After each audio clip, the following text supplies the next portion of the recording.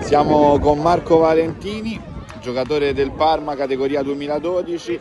Oggi la finale non è andata bene, avete perso, però il percorso della squadra è stato veramente da lodare. Siete arrivati fino in fondo, avete sfiorato la vittoria del torneo, siete stati sfortunati perché siete stati fermati dal palo, poi avete perso ai rigori. Come è andato il torneo? Ti sei divertito? Eh, il torneo è stato molto bello, sono molto divertito e giocato molto per me. Ok, cosa pensi che è mancato nella finale? Ah, nella finale dovevamo fare qualcosa di meglio, curare qualche dettaglio e basta.